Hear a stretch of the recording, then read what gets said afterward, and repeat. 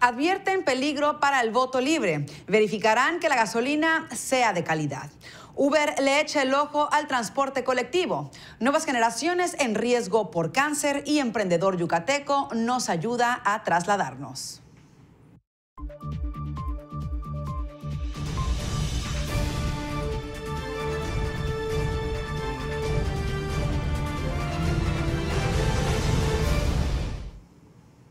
Hola, ¿qué tal? Muy buen día. Bienvenidos una vez más al Daily Report a través de la señal de México News Network.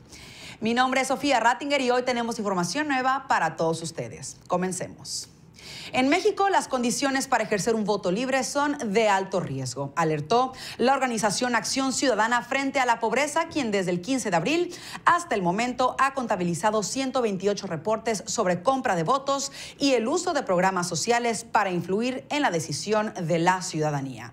Bajo estas condiciones de vulnerabilidad, los partidos políticos buscan aprovecharse para construir clientelas, lo que la organización ha calificado como un foco rojo durante el proceso electoral 2018 en el que más de 89 millones de mexicanos designarán a quienes ocuparán los más de 3 mil cargos de elección popular. Alberto Cerdán, coordinador de Acción Ciudadana, explicó que la concentración de reportes varía dependiendo del partido que gobierna en cada estado. En Puebla, el PAN tiene el mayor número de denuncias. En la Ciudad de México, el PRD y en estados donde gobierna el PRI ese partido es el que ha recibido el mayor número de reportes. Debido a esto, Acción Ciudadana frente a la Pobreza ha puesto a disposición de la ciudadanía un formulario mediante el cual pueden denunciar de forma anónima a quienes hayan intentado comprar votos. Esto con el objetivo de monitorear y reportar el mal uso de los recursos públicos. En otras noticias, la Comisión Reguladora de Energía anunció a través de un comunicado que se aprobó la operación de 14 laboratorios que evaluarán la calidad de la gasolina y el diésel en México, 11 de los cuales pertenecerán a petróleos mexicanos y 3 a empresas privadas. Estos nuevos laboratorios se sumarán a los 93 que fueron aprobados en marzo por el organismo, resultando en un total de 107 laboratorios, de los cuales 91 son de Pemex y juntos podrán analizar la calidad de combustibles de las 11.927 gasolineras del país. Estos nuevos laboratorios tendrán la obligación de realizar pruebas y mostrar resultados al programa de verificación periódico de combustibles de la CRE, tras lo cual se realizará una sanción a las estaciones que se encuentren por debajo de los estándares de la norma. Finalmente, es importante recordar que los laboratorios interesados en el servicio de prueba a combustibles deberán contar con la acreditación de la entidad mexicana de acreditación y la aprobación de la CRE.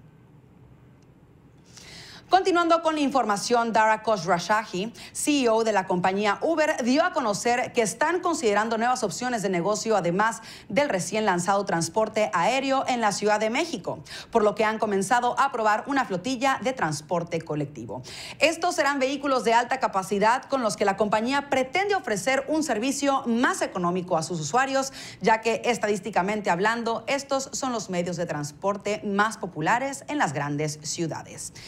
Nuevo proyecto de Uber propone lanzar una especie de camionetas colectivas y para ejemplificar esto, el CEO mencionó el caso de Lagos, Nigeria, país en donde actualmente se utilizan furgonetas para transportar a varias personas a sus hogares.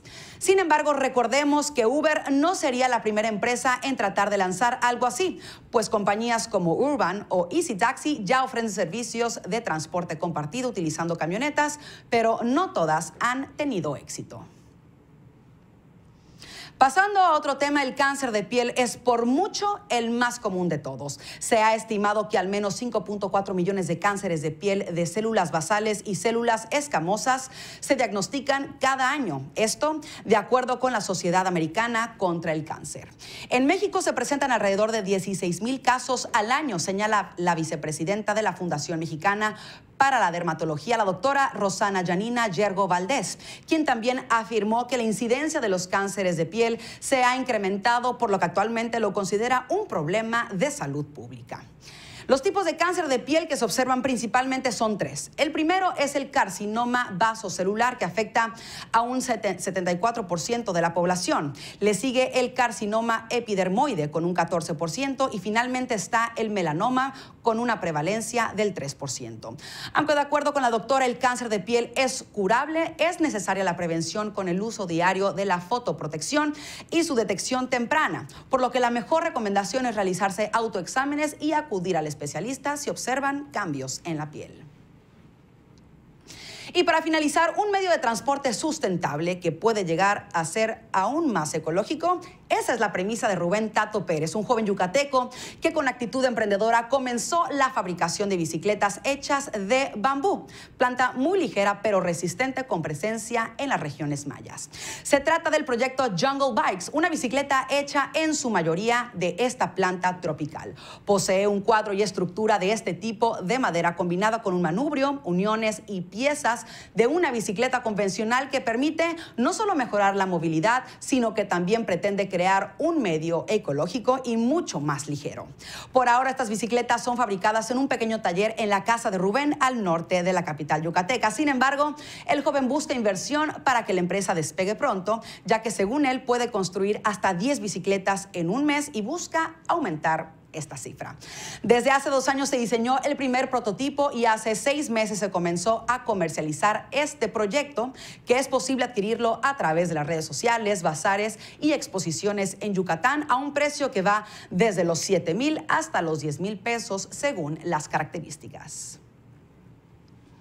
Esto ha sido todo por hoy. Yo soy Sofía Rattinger y agradezco que hayan seguido esta transmisión y les recuerdo que pueden visitar nuestras redes sociales y seguirnos a través de ellas. Navegue en nuestro sitio mexiconewsnetwork.com para conocer más información sobre México y el mundo. Nos vemos y escuchamos. Hasta la próxima.